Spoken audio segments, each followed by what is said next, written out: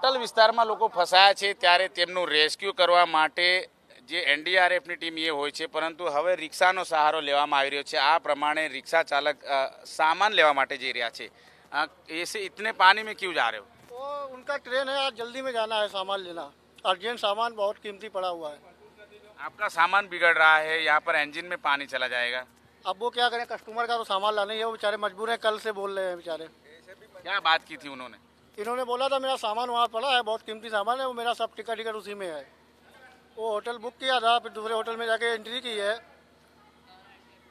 જી જોઈ શકો છો આ આ પ્રમાણે અડધે અડધ રિક્ષા ડૂબી ચૂકી છે અ, ભલા માણસ અત્યારે હાલ રિક્ષામાં આ રીતે સામાન અ, લેવા માટે જઈ રહ્યા છે કારણ કે તેમને બહાર ગામ જવું છે આ રીતે મુસાફરો છે જોઈ શકો છો સામાન સા- સાધન સામગ્રી કાઢવા માટે પ્રયાસ કરી રહ્યા છે અ, આપ જા કિતને દિન से फंसे थे? हमारा हमारा घर है वेस्ट बंगाल में। एडमिशन के लिए बेटा का एडमिशन ले आया था।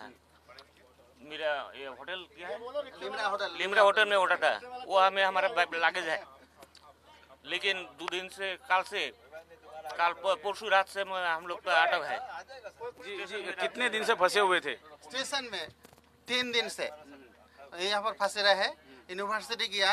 लेकिन इधर घुसा नहीं सका आ, फिर स्टेशन में शेल्टर लिया कल होटल में शेल्टर लिया आ, इधर कैस को, कोई अरेंजमेंट हुआ नहीं है इधर आने का आज वो ए, भैया को रिक्वेस्ट किया ओ भैया रिक्वेस्ट રિક્વેસ્ટ ઉપર આ રીતે વાહનો છે એ આવી રહ્યા છે લોકો છે સર સામાન લેવા માટે આ રીતે કમરસમા પાણીમાં પણ જઈ રહ્યા છે ત્યારે લોકો અત્યારે આ રીતની સ્થિતિમાં મુકાઈ ચૂક્યા છે. વામણા પુરવાર થઈ રહ્યા છે. કમરસમા પાણીમાં પણ રિક્ષામાં અત્યારે સામાન લઈ જવા માટેનો પ્રયાસ કરવામાં આવશે. જો કે અત્યારે હાલ જે સ્થિતિ છે, કમરસમા પાણીમાં અત્યારે વાહનો આવી નથી શકતા, પરંતુ આ રીતે રિક્ષા લઈ જવામાં આવી રહી છે અને આ રિક્ષાની અંદર સામાન સવાર કરીને ત્યારબાદ આ જ રિક્ષાને પરત રેલવે સ્ટેશન સુધી લઈ જવામાં આવશે. જોકે પાણીનો ફ્લો આ તરફનો છે ત્યારે મુશ્કેલીથી તે લોકો બહાર નીકળવાનો પ્રયાસ પણ આ જ રીતે કરશે.